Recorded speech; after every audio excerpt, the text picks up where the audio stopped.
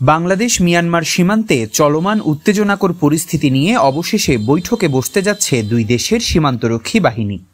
কক্সবাজারের টেকনাফে ত্রিশ অক্টোবর রোববার সকাল দশটায় বর্ডার গার্ড বাংলাদেশ বিজিবির সঙ্গে মিয়ানমার বর্ডার গার্ড পুলিশ বিজিপির ব্যাটালিয়ন কমান্ডার পর্যায়ে পতাকা বৈঠক অনুষ্ঠিত হবে।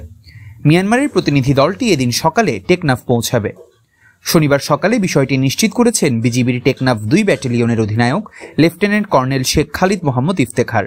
তিনি জানান, গত আড়াই মাস ধরে মিয়ানমারের অভ্যন্তরে চলমান গোলাগুলিকে কেন্দ্র করে সীমান্তে অস্থিতিশীল পরিস্থিতি বিরাজ করছে।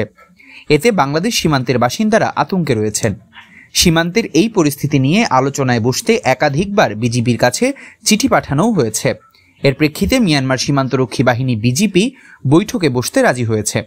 তবে পতাকা বৈঠকে সীমান্ত পরিস্থিতি ছাড়াও আরও কি কি বিষয়ে আলোচনা হবে এবং দুদেশের কতজন করে সদস্য অংশ নেবেন তা বিস্তারিত জানাননি বিজিবির এই কর্মকর্তা।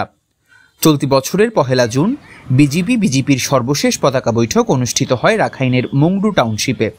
আঞ্চলিক পর্যায়ের ওই বৈঠকে চার বাংলাদেশি জেলেকে ফেরত দেয় Myanmar.